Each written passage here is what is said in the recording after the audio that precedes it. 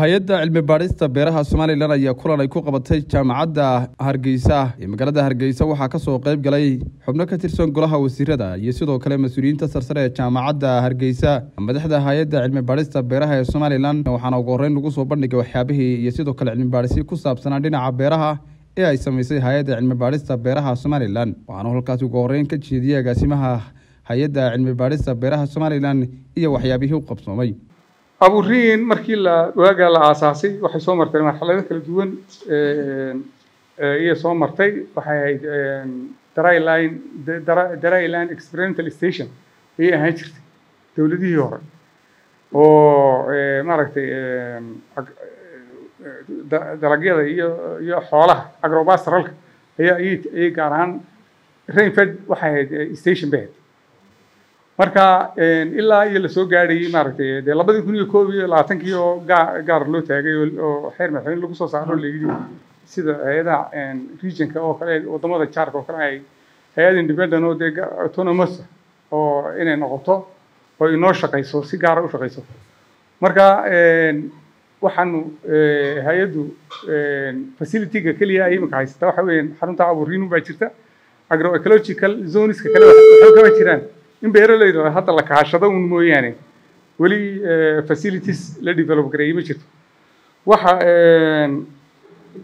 aan soo koobayaa description xarunta aburiin waxyaaba fara badan baa intaanaan anagu tijaabooyinka imika ku samaynin ka dhacay hay'ado dhowra ayaa la iska kaashin jiray ay ka mid tahay f a o iyo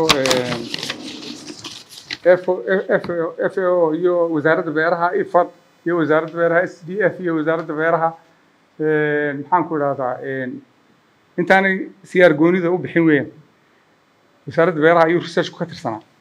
Marka sida howlo badan baa meesha ka soo dhacay intii ka horreysay maaragtay siyaar intaan gooni loo taagin. Dhankoodana waxaa halkaasi hadalla ka jeediyey xubno ka tirsan golihii wasiirada ee ka soo qeyb galaya sidoo kale mudan iyo marti sharaf kale ayaa dhammaantoodba bogaadiyey cilmi baadhistan iyo sidoo kale howlahan kala duwan ee hay'adda cilmi baadhista beeraha somalilan ay ka wado guud ahaanba somalilan. Researchku haddaba ama cilmi baadhistu wuxuu ka bilaabmayaa kow halka aburiin aburiin markuu ka bilaabmo waa inaynu dalageenii hore ilaalinaa.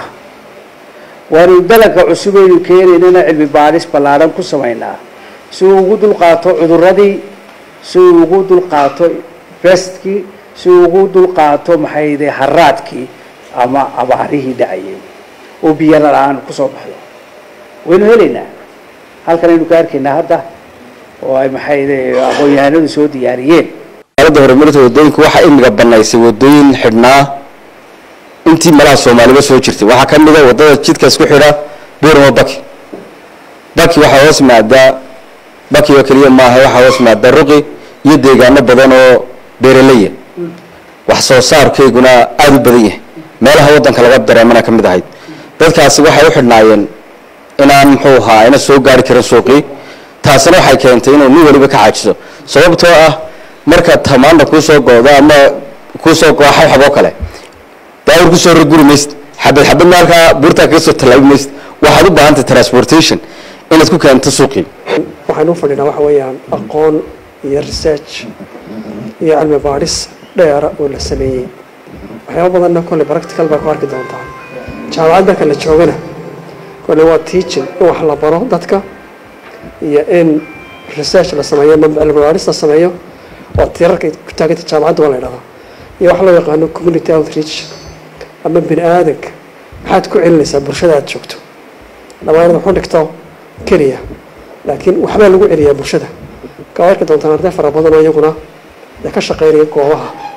Ama maxaan ku dhahay bulshada u shaqeynaya ama ha noqdaan qaar social work ka shaqeynaya arrimaha bulshada ka shaqeynaya ama qaar caafimaad ka shaqeynaya ama qaar low ka shaqeynaya. Iyo qaar ka shaqeynaya waxyaaba fara badan oo kaleba ka shaqeynayaba. Oo arki doontaan insha allahu tacaala. Kulley anigu telesom roolkeeda ku dheeran maayo. Telesom waxaa ku filan mashruuc baa jiri jiray la odhan jiray telesom tuulo tuulo ugu kaale. Mashruucaa waxaan xasuustaa maalin maalmaha ka mid a annagoo safar ku jirna oo marayna sayla agteeda.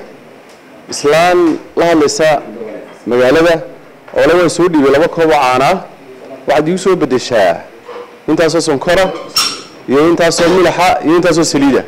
Marka iyada ta intaasaa naga filan laakiin qodob bay soo kiciyey oo dee institution kasta rool buu ka qaatay isku xidhka dalka. Marka tilasmna roolkeedu dee waad ka warhaysaanoo waxa weya technology-gu marka laga yimaado in technology-ga looga faa'iidaysto horumarka dalka oo weli inoo dhiman maalin waxaan daawanayay barnaamij singapore ka socday oo hudheelada singapore baa isticmaala wasiir sacad kale hudheelku ka qadeeyo oo mansooro kalea tusaal ahaan. Ayaa waxay eegayaan cuntooyinku dalbado. Kadibna cuntooyinkii bay daraasad ku samaynayaan waxay soo saarayaan cuntada uu jecel yahay sacad. Markaa dee ammaan iyo bogaadi bay mudan yihiin keliya waxaan doonayaa inaan dee talo ku darsado researchkana waan ka shaqayn jiray. In aan inaan idhaahdo laba wax baynu u baahan nahay inaynu ku kordhino imika inta halkan joogta. Beri hore hadday xitaa beerada ahaan jiren imika inaanay ahayn baa laga yaaba ama beer uu leeyahay oo aanu imika laakiin cid kale dee joogto. Marka horta waxaan odhan lahaa dee ujeedo research short term objectivena wuu leeyey aggregate-na wuu leeyey marka in sidaa la yeelo data la ururiyo analysis lagu sameeyo this waa short termkii laakiin at the end of the tunnel halkii ku dhammaanayso maxaan rabaa? Researchkan inuu somaliland maxay ku beeriyo inuu beeralaydii baro? Marka food security-gu runtii waa waxyaabaha inoo mudan ee awalka inoo ah haddaynu nahay reer somaliland marka see baynu uga baxaynaa saboolnimada cunto? Oo aynu soo saaraynaa wax inagu filan iyo waxaynu dhoofinaba waynu samayn karnaaye wax soo saarku wuxuu ku xidhan yahay laba shay oo laysku dhiftay. Mid waxa weeye waa baaxadda dhulka la beero midna waxa weeye waa tayada. Waa area under cultivation iyo productivity. Marka laysku dhifto ee waxa kuu soo baxaya wax soo saarka dalka ayaa kuu soo baxaya cilmi baadhistu inta badan waxay ku foogan tahay oo la baadhaa waxyaabaha inputka la yidhaahdo amba la geliyo beeraha oo ay ka mid yahay uu ka mid yahay abuurku. Iminka seeds buu badnaa iyo wixii ka baxay cilmi baadhistii laynoo soo bandhigay. Lakiin intaa cilmi baadhistu way ka ballaaran tahay wax mararka qaarkood la baadhaa ciidda iyo biyaha iyo qalabka iyo maamulka iyo chemicalska faraha badan ee pesticideska. Runtii kolley iyo kolleyba mar kasta oo barnaamij la soo dhigayo kolley wuxuu u baahan yahay in sharaxaad ballaaranna laga bixiyo faham fiicanna laga qaato runtii anagu runtii hadda barnaamijkan hadda la soo dhigay ee soo dhigtay wasaaradda beeraha iyo hay'adda cilmi baaristu run ahaantii kolleyba sida dalagyada loo beerayo iyo sida loo kala durkinayo iyo sida ay u baxayaan oo tayo u yeelanayaan iyo ku soo koray waxaan garanayaa inaanan calaf kaleba aanan cunin. Aan ahayn wax beer ka soo go'ay. Oo suuqa la keenay oo la iibiyey ayaanu ku soo koray waxaan xasuusanahay markii aanu soo yar waaweynaanay afar hablood oo iska soo gaadhay noqonay.